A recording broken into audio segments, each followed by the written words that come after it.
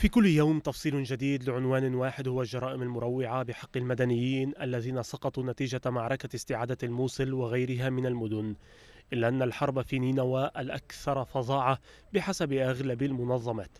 واحدة من تلك المنظمات هي هيومن رايتس ووتش التي كشفت قتل الميليشيات اليزيدية 52 مدنيا جلهم من الأطفال والنساء من قبيلة متيوت في الرابع من حزيران الماضي بمنطقة القابوسية أثناء هربهم من المعارك الدائرة بين تنظيم الدولة وميليشيات الحشد في وقتها غرب الموصل.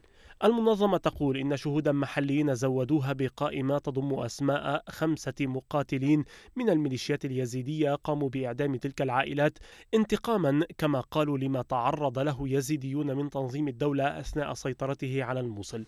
وبحسب الشهود أيضا فإن الميليشيات اليزيدية شكلت كتيبتين الأولى تدعى لالش والثانية تدعى إيزيد خان. انضوت تحت ميليشيات الحشد قامت بارتكاب جرائم خطف وقتل فيما تولت ميليشيات إيزيد خان مقتل الاثنين وخمسين فردا من قبيلة متيوت.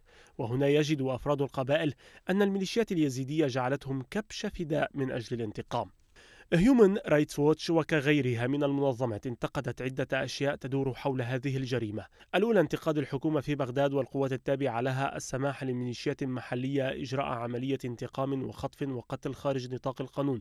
والثاني انتقاد لتلك الميليشيات من النيل من الأبرياء تحت ادعاءات عدة. والثالثة للمجتمع الدولي الذي يبقى متفرجا. أما الحلقة الأضعف من كل هؤلاء فهو الشعب العراقي لا محالة.